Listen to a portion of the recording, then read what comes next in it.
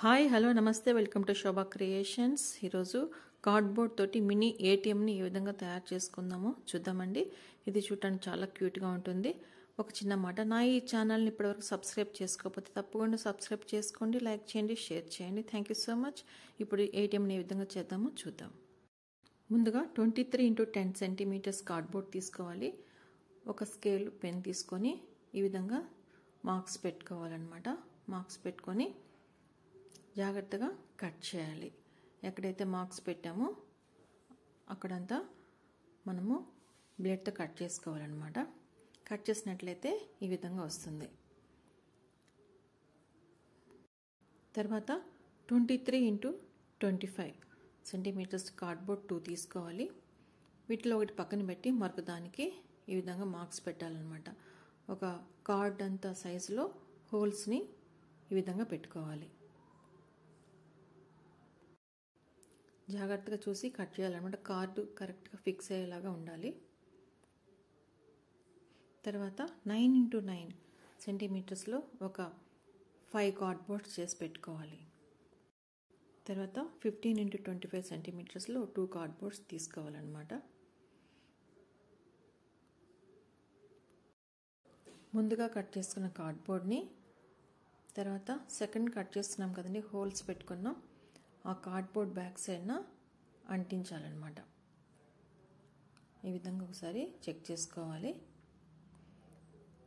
తర్వాత nine into nine సెంటీమీటర్స్లో cardboard cut చేసుకున్నాం కదా వాటిని కూడా బ్యాక్ సైడ్న నేను చూపించిన విధంగా స్టిక్ చేయాలన్నమాట. తర్వాత రౌండ్గా కార్డ్బోర్డ్ని చుట్టి అది కూడా ఒక పక్కన ఈ విధంగా అంటించాలి. అది కాయిన్స్ కోసం అనమాట ఈ విధంగా అంటించాలి. కింద వైపున కొంచెం గ్యాప్ ఉండాలి. చూసిన చూసారు కదా? కార్డు కూడా పట్టి కార్డు పట్టేంత గ్యాప్ ఉండాలి. తర్వాత ఫిఫ్టీన్ ఇంటూ ట్వంటీ ఫైవ్ సెంటీమీటర్స్లో టూ కార్డ్బోర్డ్స్ తీసుకున్నాం.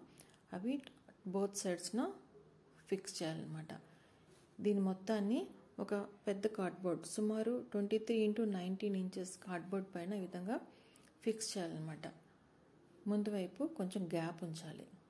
ఎందుకంటే కాయిన్స్ అవి పడతాయి కదా అందుకోసం అని చెప్పి ముందు వైపున గ్యాప్ ఉంచాలన్నమాట. బ్యాక్ నైన్ ఇంటూ నైన్ ఆ కార్డ్బోర్డ్స్ని క్లోజ్ చేయాలి. మరొక కార్డ్బోర్డ్ని ఒక క్రాస్గా ఈ విధంగా ఫిక్స్ చేయాలన్నమాట.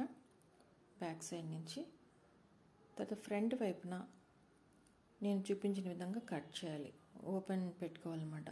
కాయిన్స్ మనీ రావడానికి. చూసారు కదా? ఈ విధంగా మనం తయారు చేసుకోవాలి. ఈ కార్డ్బోర్డ్ని కొంచెం క్రాస్గా పెట్టాలన్నమాట. బ్యాక్ సైడ్ నుంచి పై వైపున ఈ విధంగా క్లోజ్ చేద్దాం. టూ ఓపెన్స్ పెట్టాను కాయిన్స్ కోసమని నోట్స్ కోసమని. తర్వాత బ్యాక్ వైపున కూడా కార్డ్బోర్డ్ తోటి కంప్లీట్గా క్లోజ్ చేసేద్దాం. చూసారా? ఏటీఎం అని రాసి నెంబర్స్ కాయిన్స్ క్యాష్ అని రాశాను. ఇప్పుడు క్యాష్ వైపున క్యాష్ వేద్దాం. కాయిన్స్ వైపున కాయిన్స్ వేసి చూద్దాము. విధంగా క్లోజ్ చేయొచ్చండి.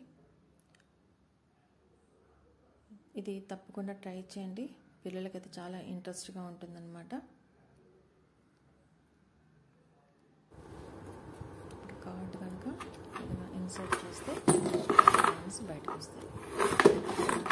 అదేవిధంగా క్యాష్ వైపున కార్డ్ పెట్టినట్టు పెట్టినట్లయితే క్యాష్ బయటకు వస్తుంది అనమాట థ్యాంక్స్ ఫర్ వాచింగ్. నా ఛానల్ లైక్ చేయండి షేర్ చేయండి తప్పకుండా సబ్స్క్రైబ్ చేయండి. Thank you so much.